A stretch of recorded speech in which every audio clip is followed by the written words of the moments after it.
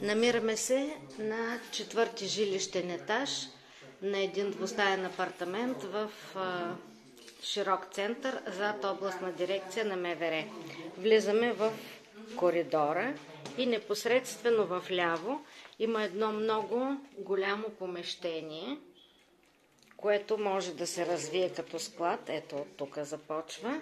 А може и тази стена да се избие, тъй като не е носеща, и да се обедини с хола.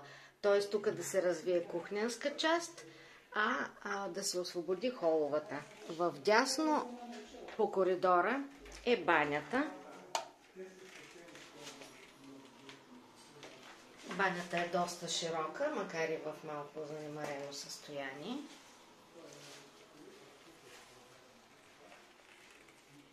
Продължаваме нататък и стигаме до хола. Това е гърба на складовото помещение, за което говорих по-малко. И точно тук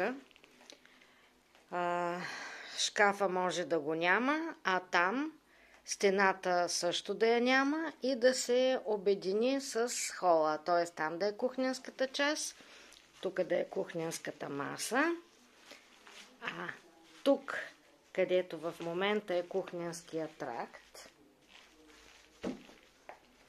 да се сложи мека мебел и малка масичка. А продължаваме в една преходна спалня,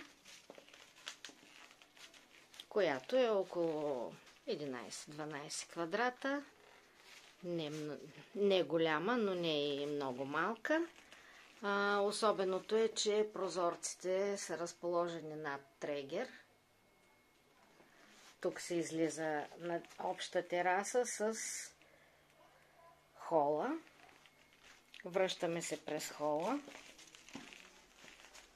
и излизаме на терасата, която е леко триъгълна, по-скоро трапецовидна.